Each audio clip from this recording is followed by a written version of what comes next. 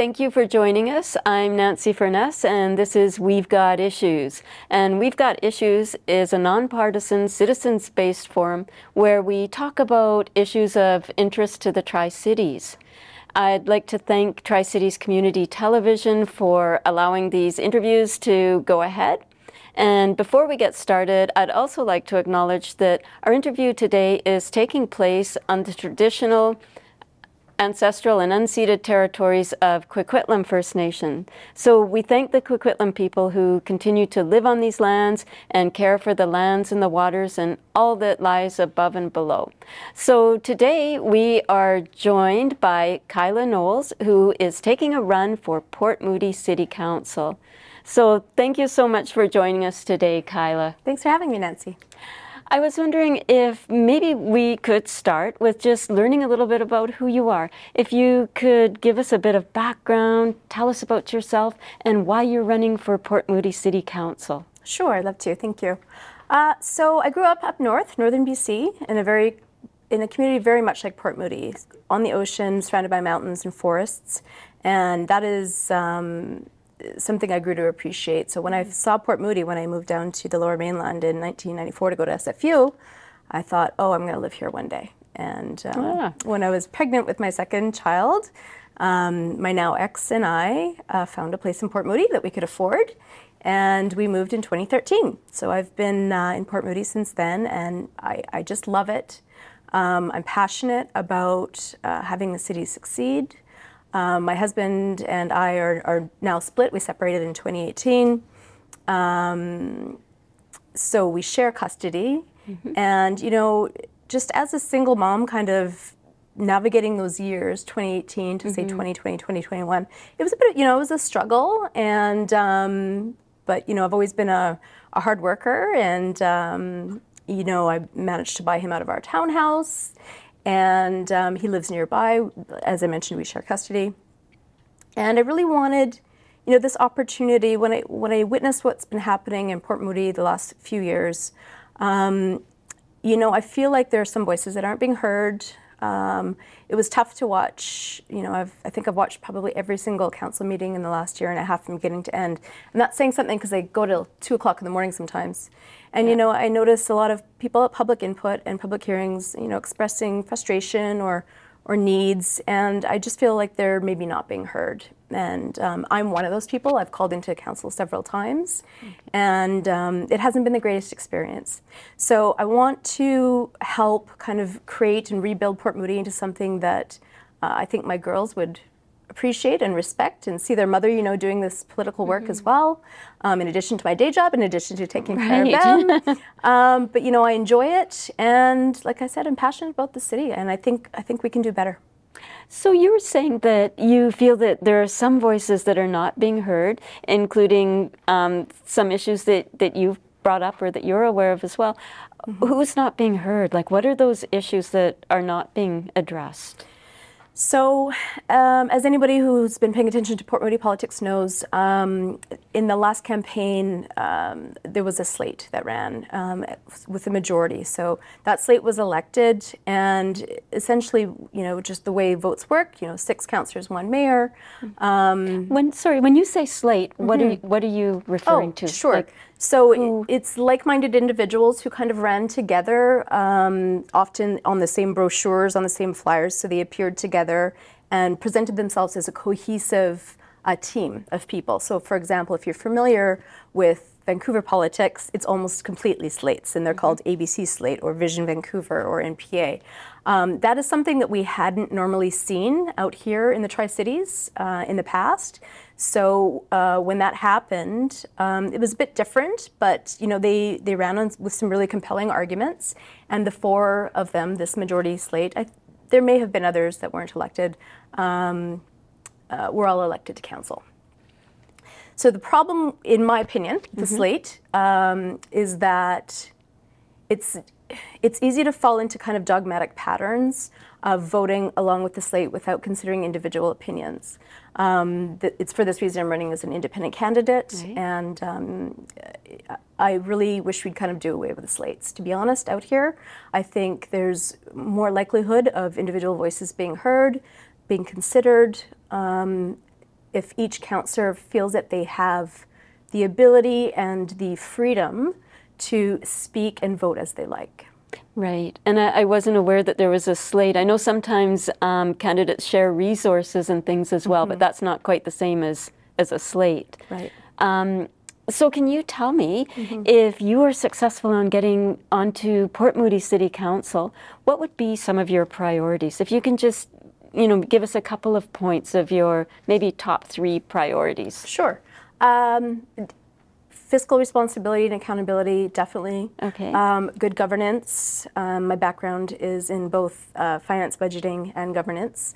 Um, and then, of course, affordability, not just housing affordability, but affordability, period. And that ties back into financial accountability. And then um, parkland and climate change initiatives. Okay, so we've got lots to talk about. Sounds like you also have lots of issues, like just like we do. We've all got issues. um, so let's talk. Let's start with fiscal responsibility. Mm-hmm. So, what, where are we not being fiscally responsible, and what would you like to see happen? Okay. So Port Moody, as we all know, is you know relatively small population size and mm-hmm. geographically. Right. Um, you know, I'm I'm pretty passionate about not extending further sprawl up our mountains and into our forests, um, which means we're kind of uh, we're kind of deadlocked in terms of if we're going to grow at all and meet our um, commitments to Metro Vancouver. Mm-hmm. How are we going to do that? How are we going to increase our tax base um, without impacting the environment right. around us? Right. So the problem with that is we've lost two major industrial tenants in the last five years, and those were major tax-paying um, businesses to us. So the problem is now residents are shouldering the tax burden.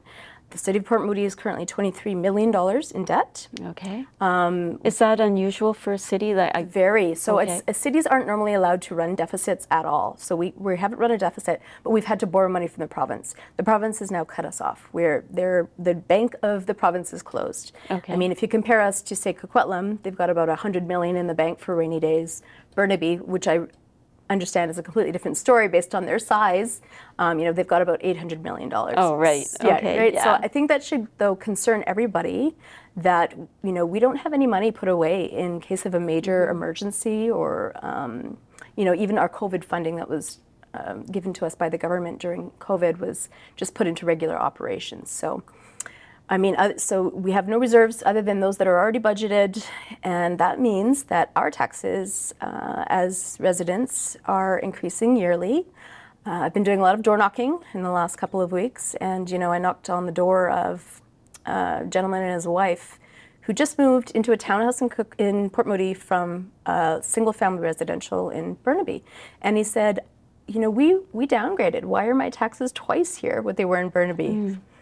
And you know, it's a tough question to answer, right? It, it's a tough question, but at the same time, it isn't. It, it's quite clear. But I mean, it's a tough question to have to to answer. have to absolutely like it's so it's awkward. You're saying that um, the business tax base mm-hmm. is uh, not supporting. It's not large enough to support Port Moody, and that residents are, are shouldering that burden. Mm-hmm. How can we change that? How can we um, maybe encourage businesses to come to Port Moody? So, you know, there are a number of things we can do, and it's not just encouraging businesses. It's in, it's diversifying our income stream generally, right? Okay. And that can be through different ways. It can be through um, uh, moderate development. It can be through encouraging businesses. It can be through cutting um, cutting the budget in some areas. Right. Uh, there are a lot of ways that we can um, look at doing that. So, are there areas that you think um, could be or should be cut to make those funds available?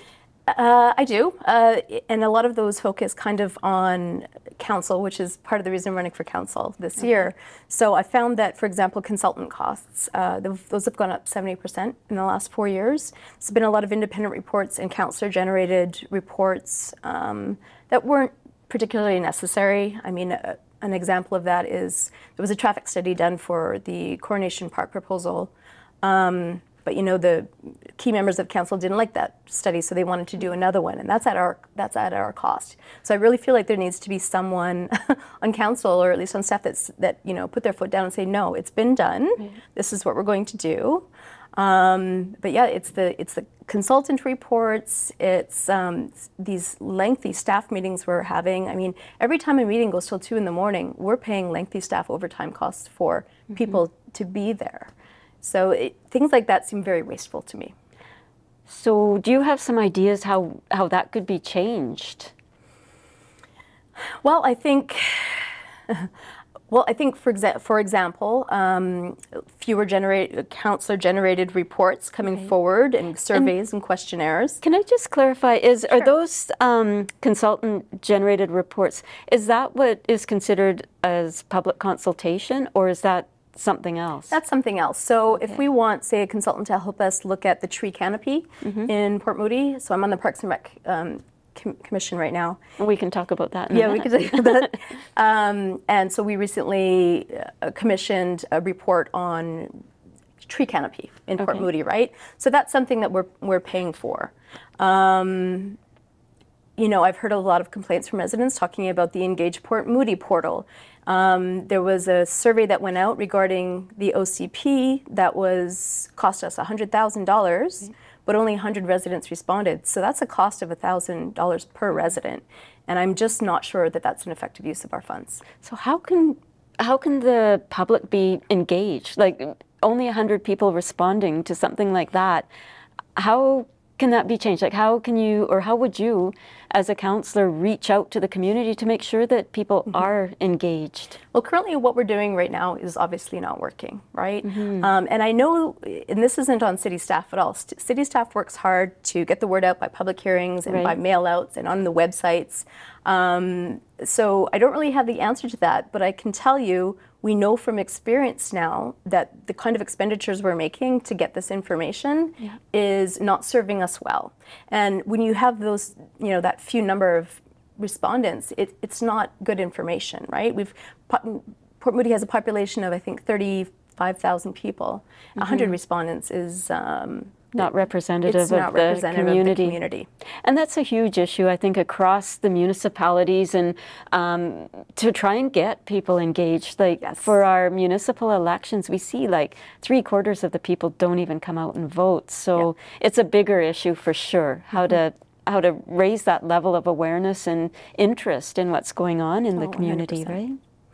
So um, I think you've also brought up parks mm -hmm. and green spaces and trees, and yes. and that's an area that is of particular interest to me. Um, so I'm wondering, do you think does Port Moody have enough parks and green spaces? So Port Moody has more than 40 parks currently, right? Um, we've got huge, we've got beautiful, huge Bert Flynn, we've got Rocky Point, mm -hmm. and, a and a study recently struck, a subcommittee of the Parks and Rec Commission um, recently completed a study that showed that actually, yes, Port Moody does have enough parkland. Okay. Um, it's, it's an interesting study, it's publicly available if you want to take a look at it. What I found most interesting, though, about the, that study is that it identified, well, first of all, it determined we don't need any new parkland. Right. Second of all, it did determine, okay, well, if we were to look at new parkland, we should look at, you know, acquiring parkland where possible in the areas that are currently underserved. So, and th those are, there are five areas that were identified in that report. And absolutely, I, I'm really in favor of kind of activating our current neighborhood parks for more use. Right. I live in East Hill and we've got a, the most adorable little park beside us. It's got a water park. Nobody ever comes to it, right? Oh. It's got a huge field that it, it is never used.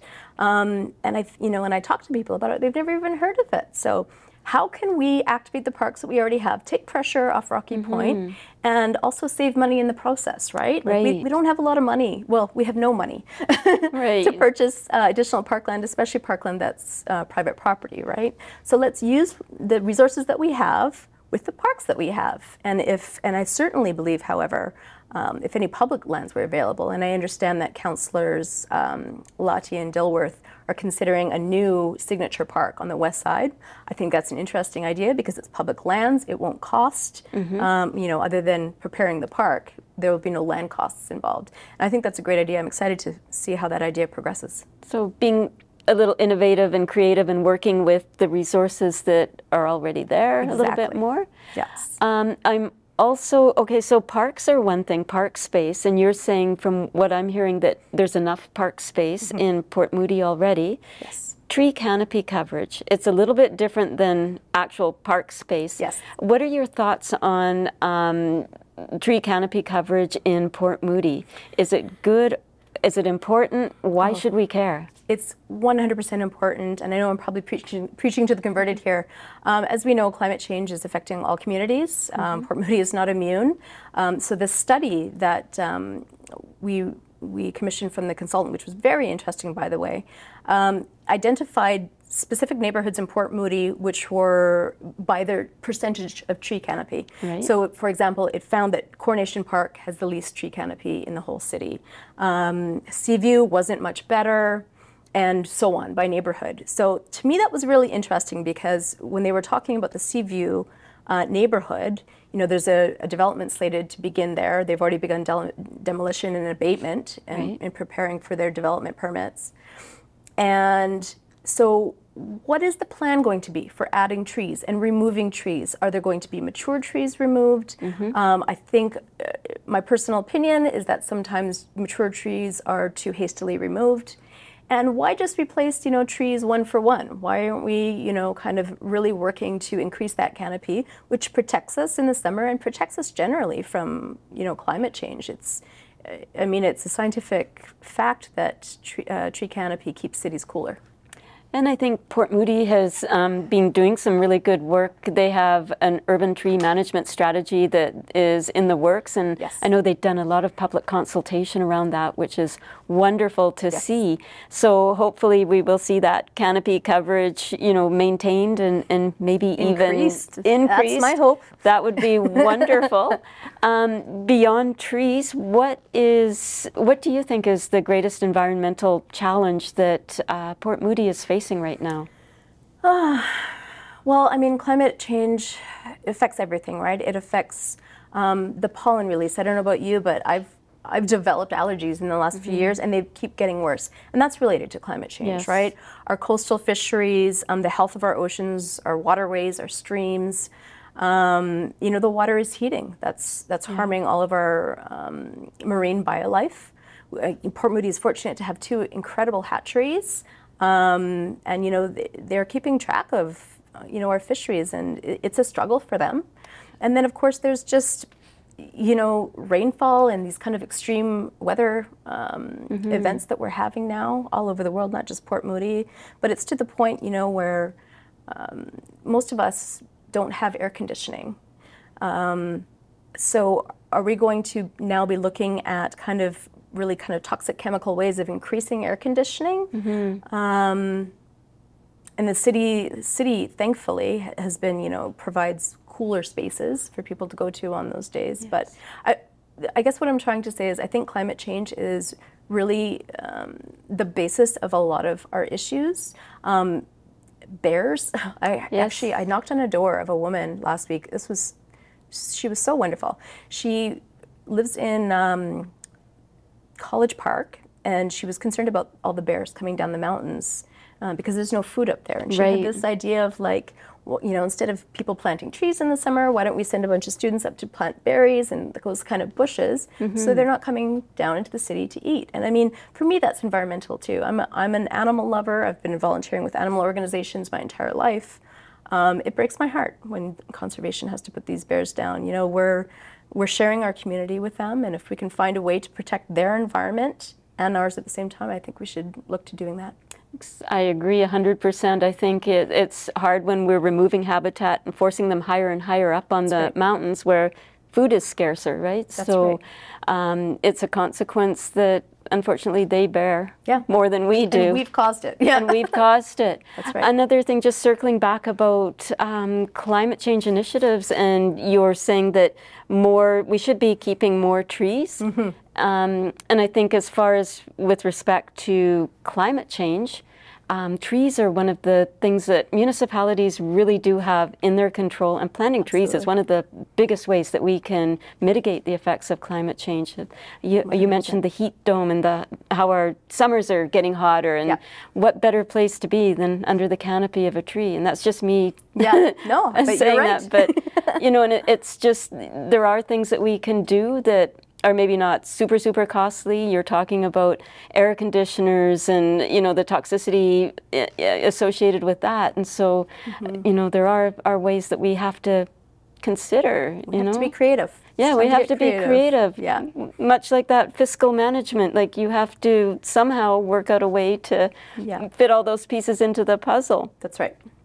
Um, there's one other area that I'd really like to touch on. Sure. And I think it's something that you've identified as a priority and an issue. And Mm-hmm. it's, um, well, there's two. There's uh, the issue of good governance and then respectful workplace. And we'll, we'll talk about respectful workplace in a, in a, a little bit. But can you tell us about good governance?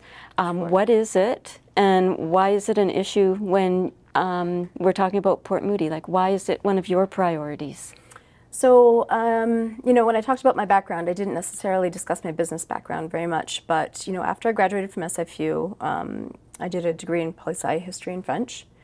Uh, I went into corporate finance and I did that for 12 years. Um, so it was a lot of pro formas, a lot of projections, balance sheets. So that's where my interest in finance comes from and understanding uh, how to balance a budget, which I think is very something important everybody should know, that we should, and cities are no different, Mm-hmm. in my opinion. Now, you know, kind of, then I had my children after that, and then I went into um, the area of governance. So I've been working with boards of committees, subcommittees, um, nomination committees, governance committees, audit and finance committees now for the last seven or eight years. Um, you know, Robert's Rules of Order, the whole nine Right. yards.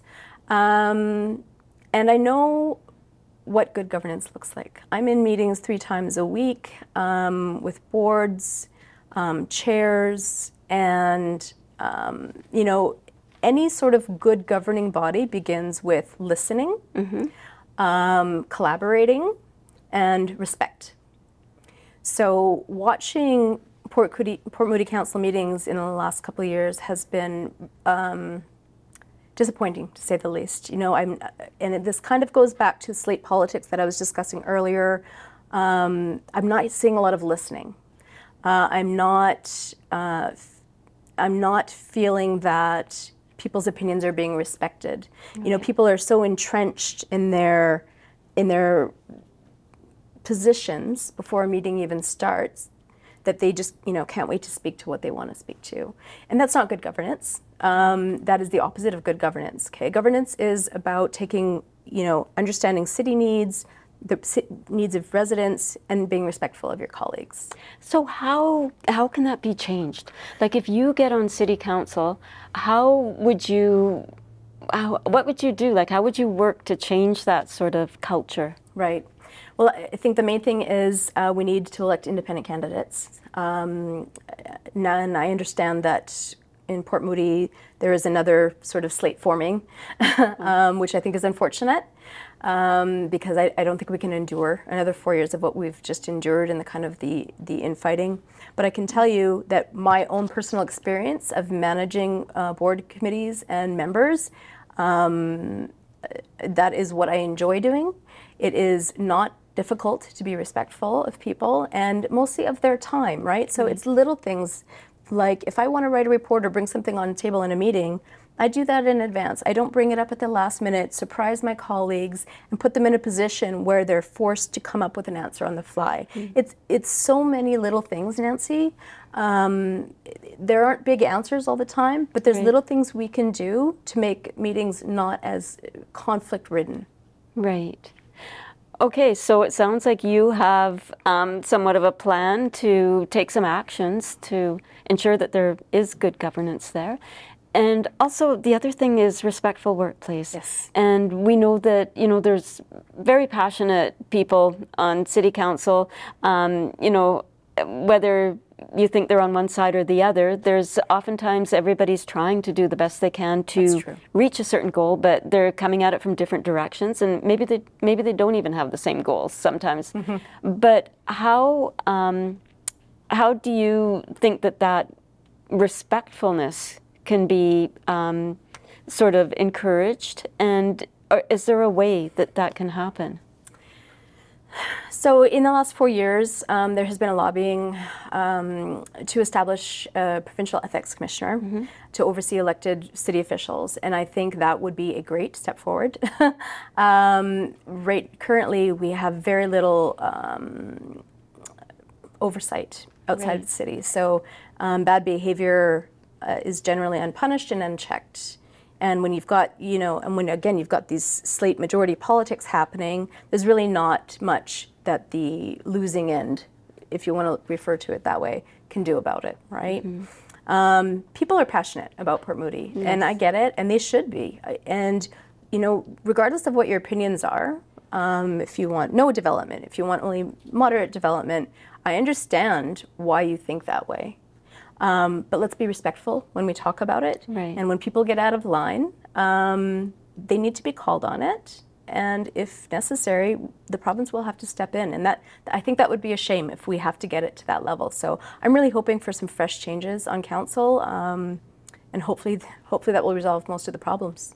Well, and I, I am aware of the integrity commissioner or the ethics commissioner that um, there's been a lot of discussion about that lately. And it is, like you say, a third party coming in unbiased who is able to helpfully or hopefully resolve some of those issues that can't be resolved around the council yeah. table because I think we all agree that you can get far more done, work done, um, if it's a, a positive um, environment where everybody's voice can be heard and everybody feels comfortable. So, yeah. I would like to thank you so much for coming in and talking to us today and, and helping us to get to know you a little bit better and what your priorities are should you get on, on Port Moody City Council. And we'll wish you all the best, Kyla. Thanks, Nancy. It was um, a pleasure talking to you. Okay.